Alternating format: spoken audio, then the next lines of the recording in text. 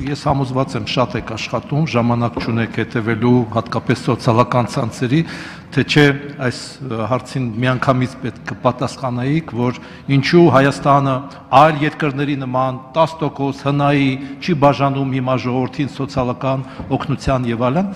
Նայեք, ես մի քիչ դա անդիմադիրների, ես այլ անդիմադիրի կեցվածքով ձեզ հարց կտամ։ Նայեք, հա, մենք ունեցել ենք նախկինում մոտ 2.6% հնայի դեֆիցիտ հաշվարկված։ Ну,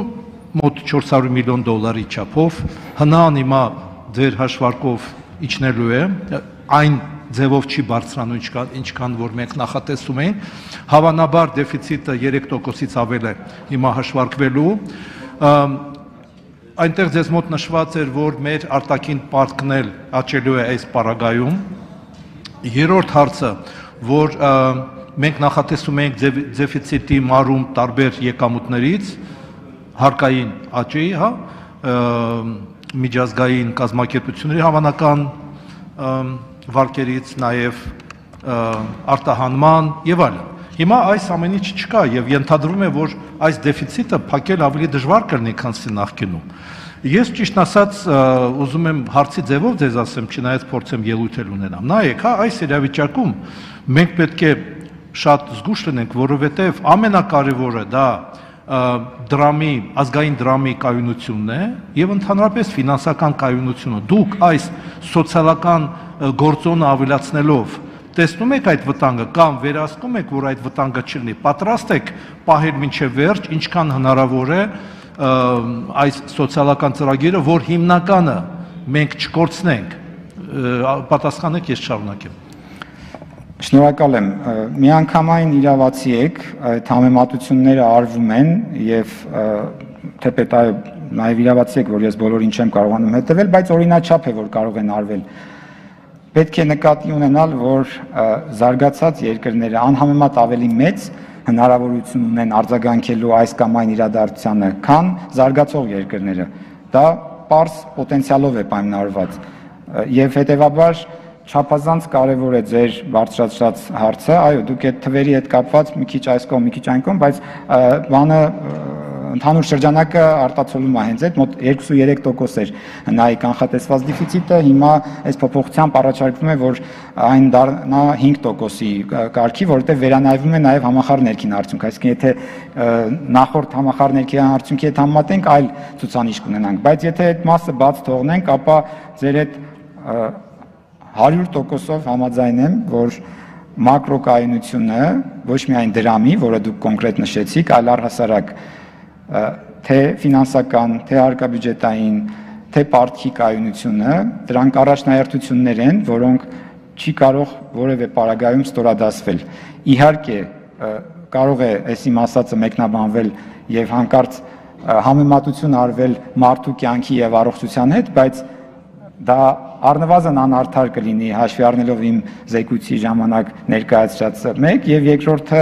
այդ բոլորը իրար հետ վերցրած մակրո հարկաբյուջետային եւ առասարակ պարտքի կամ առասարակ կայունությունը մի նպատակ ունեն՝ ծառայել մարդուն։ Եվ հետեւաբար, երբ որ ասում եմ չեն կարող ստորադասվել, դա չի նշանակում, որ մարդուն չեն կարող ստորադասվել։ Դա նշանակում է, որ մյուս նպատակներին չեն կարող ստորադասվել։ Մենք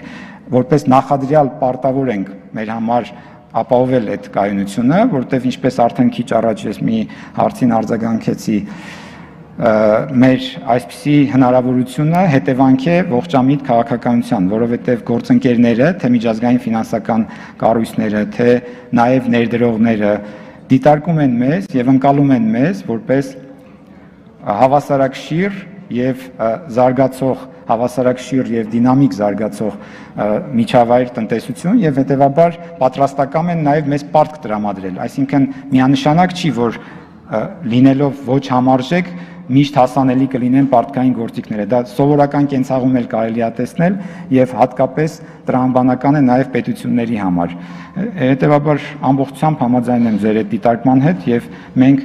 կարծում ենք, որ մեզ հաջողվելու է հավասարակշիռ առաջընթացը, այսինքն մենք չենք ունենալու ոչ համարժեք փոխզիջում սոցիալական խնդիրների լուծման եւ կայունության միջև։ Արձագանք շատ կարճ նախ նախկինում միջազգային դոնորները միշտ ուշադրություն էին դարձնում եւ պայման էին դնում սոցիալական համապատասխան բաղադրիչի որպես պայման, որոշ դեպքերում արդյոք կա այսօր այս ինչ որ փոխվել է քաղաքականությունը, երկրորդը նայեք հա այլ երկրներին, ինչի մասին որ խոսվում է շատ հաճախ զարգացած երկրներում կա հայտարարագրերի ինստիտուտ, Այսինքն, երբ որ նայեք ձեր ելույթում մի քանի անգամ հնչել է, շատ ես համաձայն եմ, հասցեական պետք է սոցիալական օգնությունը լինի, բայց այդ հասցեականը եվրոպական երկրներին ավելի հեշտ է անել, որովհետև նրանք ունեն հրճակագրերի հրճակման ինստիտուտ։ Արդյոք չէ գտնում, որ այս իրավիճակում մենք էլ փորձենք ինչ որ օրինակ այդպեսի հիմա չգիտեմ ճիշտ կթարգմանեմ սոցիալապես կարիքավորի հայտարարագիր այսինքն այն մարդը որը որ գտնում է, որ ինքը կարիք ունի, ինքը պետք է հայտարարագրի իր կարիքը, իր հնարավորությունները, որ մենք ավելի հեշտ հեշտությամբ գտնենք այդ թիրախը, այդ սոցիալական ամենաամենակարեկավոր մարդու շնորհակալություն։ Շնորհակալ եմ։ Ձեր երկու միտքն էլ չափազանց կարևոր է եւ ուզում եմ այս ժամանակի մեջ երկուսին էլ փորձել անդրադառնալ։ Առաջինը միջազգային գործընկեր կառույցների հետ հարաբերությունների իմաստով ձեր ձևակերպումը կարծում եմ մի քիչ ժամանակավրեպ է այլևս, որովհետև այդպես պայման դնելու հարաբերություն մենք չունենք մեր միջազգային ֆինանսական հաստատություն գործընկերների հետ իրենք որևէ պայման մեզ չեն առաջադրում մենք ունենք ծրագիր այսօր արժույթի միջազգային հիմնադրամի հետ որը մեր ծրագիրն է եւ մենք ունենք սեփականության զգացում այդ ծրագրի նկատմամբ եւ հետեւաբար մեզանից ավելի շատ ոչ մեկը մոտիվացված չի տեղ հավասարակշիռ մոտեցում ունենալ եւ մենք չենք ստորադասում սոցիալական խնդիրը մենք ուղղակի ճիշտ հավասարակշռության կետին ենք փորձում հասնել իսկ երկրորդ հարցը չափազանց կարեւոր է